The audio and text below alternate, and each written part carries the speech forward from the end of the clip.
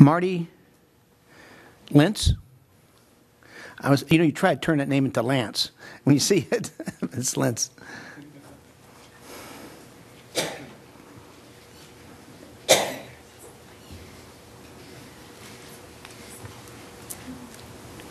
All right.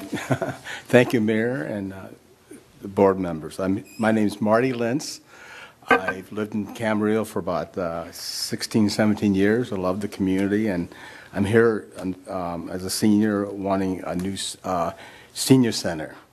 Uh, I have a petition here that uh, over uh, 250 people signed from the senior center from all different activities, and I'd like to uh, read the petition.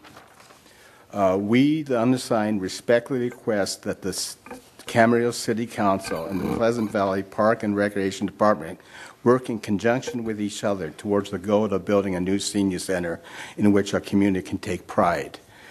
Uh, There is a mechanism for this to happen, so it's called the Joint Power of Authority.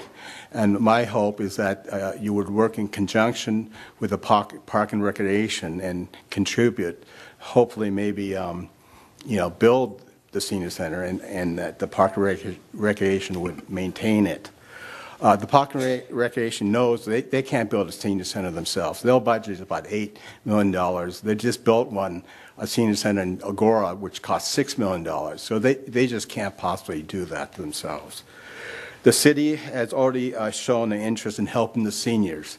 In your uh, website, uh, uh, you developed uh, the City Council of Aging. Uh, City Council of Aging, and I'll read the first statement. It says, recognizing the seniors are a significant and vital segment of the city's population.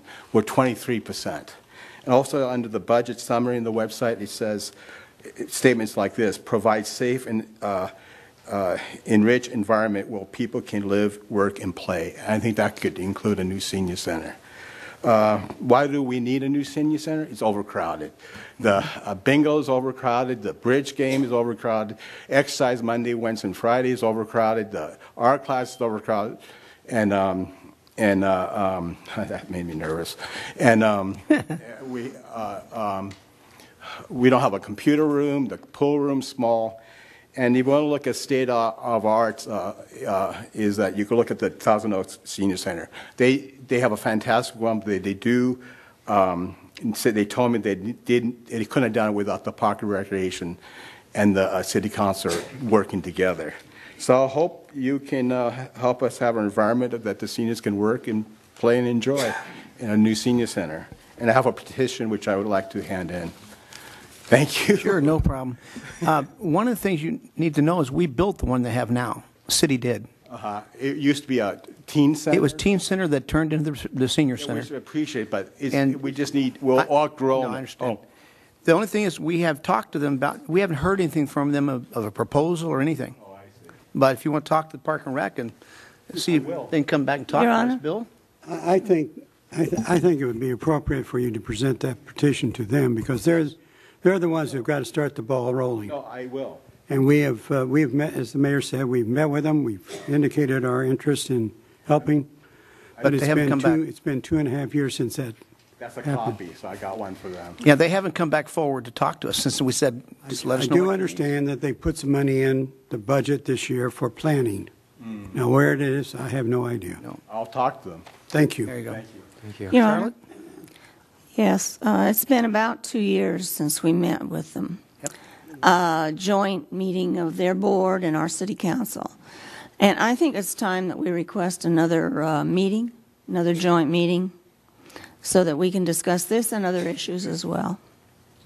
Uh, May I suggest, uh, since they are working on their, um, their needs assessment, might be more timely to meet after they do the assessment? How long do they expect that will take? And let us know when they do that? I think they're going to be out on the street pretty soon, aren't they, Joe? They're That's what going the out with an RFP RFP within the next month or so, so Right. That's it's just probably to going to get be a started. few more months before they even get started. Yeah. Okay, so And you- then a year for, to finish it, or what? What I don't know their time at? frame for completion. Couple months. It's a survey type pro, uh, a survey and focus group type process. so you'll keep us in touch. Yeah, we'll keep Okay. you informed. Thank you. Sounds like a long time. Any other questions, any other comments? Uh, So we're waiting for the Park and Rec to give us their needs so we can see if, what we can do to work with them. Just, can I make just one comment? And I'm hoping that this won't drag out too long here, because, you know, it has a tendency to drag out here. Well, we made mention two years ago, we're ready to listen to what they,